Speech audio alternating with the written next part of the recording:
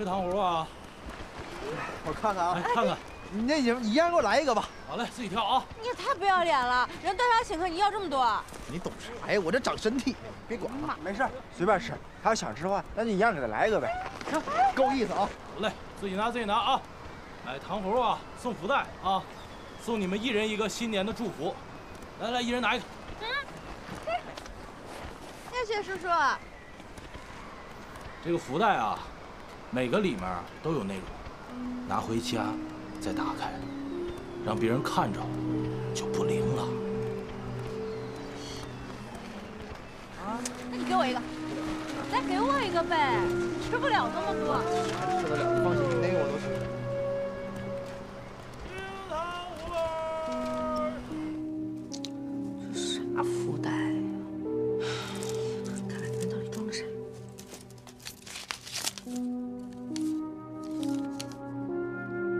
好学习，天天向上。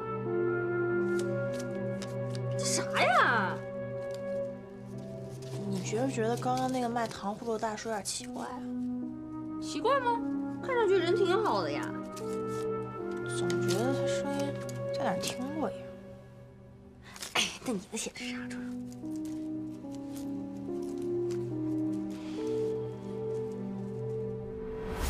拿回家再打开。让别人看着就不灵了。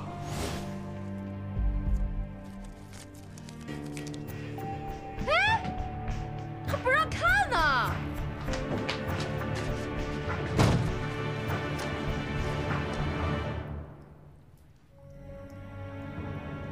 做点什么？如果我能改变李青桐，让他变得更好，是不是我们的将来就不会那么糟糕了？青铜，终于让我等到这一天了。哎呀，烦死了！我不想再念书了。李青桐，你现在需要有人督促你学习吗？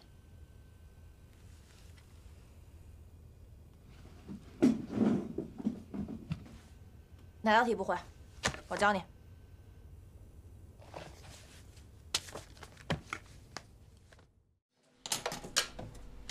哎，这俩姑娘怎么回事啊？这大中午的还不起床啊？早起来了，写作业呢。啥？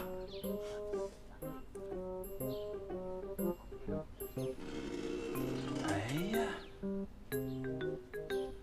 那咱得小点声啊！你把这电视关了行不行？你别影响人家写作业。我这都没声了，影响啥呀？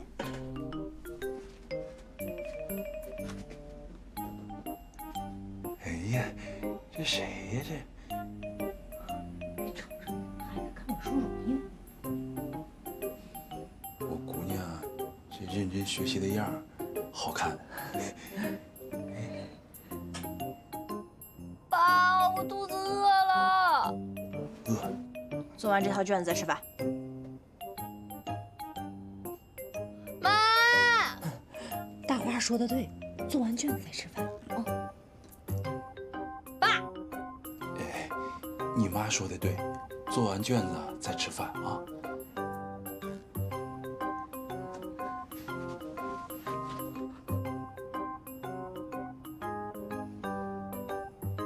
你到底咋了呀？你是不是生病了？你神经病了吧？我不带你去医院瞅瞅。是时候讲出这句话了。李青桐，我给你脸了是吧？谁神经病啊？你不好好学，你有理了是吧？让你天天骂，出来混都是要还的。你是真烧了吧？别胡说，做题。我告诉你啊，我在这待一天，我就得盯着你学习。我让你考上一个好大学，然后我要让你变成一个脱胎换骨的李青桐，听懂了吗？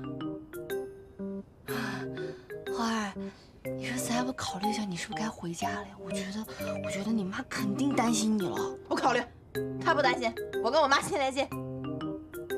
你做不做题？你不做我喊阿姨了。阿姨，坐坐坐坐坐。